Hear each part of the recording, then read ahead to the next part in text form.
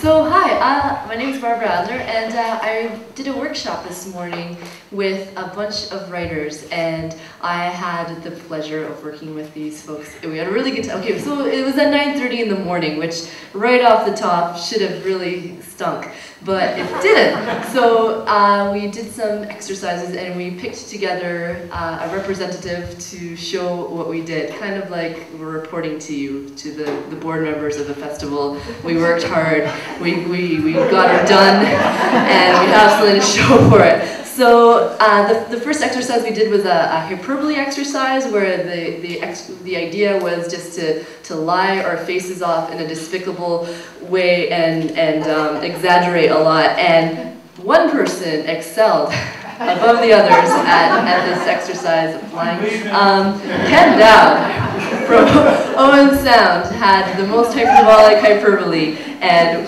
we're gonna hear it tonight, and it's gonna destroy your faces. Your your, your eyes will be on the ground, exploding into hyperbole, right? Um, please give it up for Ken Dow.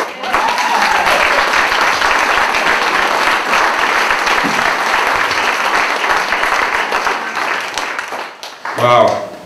Okay, so the, the, the, we were handed a sentence that we had to run with. And so I'm going to give that as the title, and I think you'll know what to do, and if you do it really loud, that would help me kind of get rolling. I am so strong. Thank you. I am so strong, Chuck Norris ducks into shop doorways when he hears my name. I am so strong that I pull a Hummer behind my tank. I am so strong that I stand in as a tunnel support during overpass construction. I'm so strong, there was a movement to rename both the Mackenzie and the St. Lawrence rivers after me.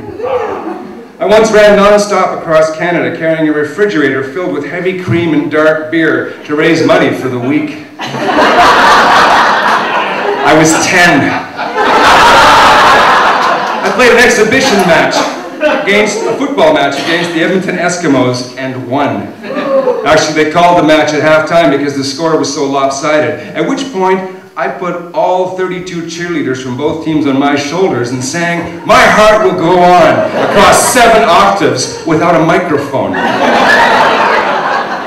I blew out every flare stack north of Grande Prairie. I have never tried chocolate. I've been run over by vehicles from every major car manufacturer on the planet, never spilling my coffee or wrinkling my perfectly ironed white shirt. I'm so strong I can compose epic poems in languages I do not know. Poems that reduce millions of native speakers into sobbing wretches. I once used a woolly mammoth in a glacier frozen as ice in my drink. and I consider the Grand Canyon to be a, a nice bit of trenching.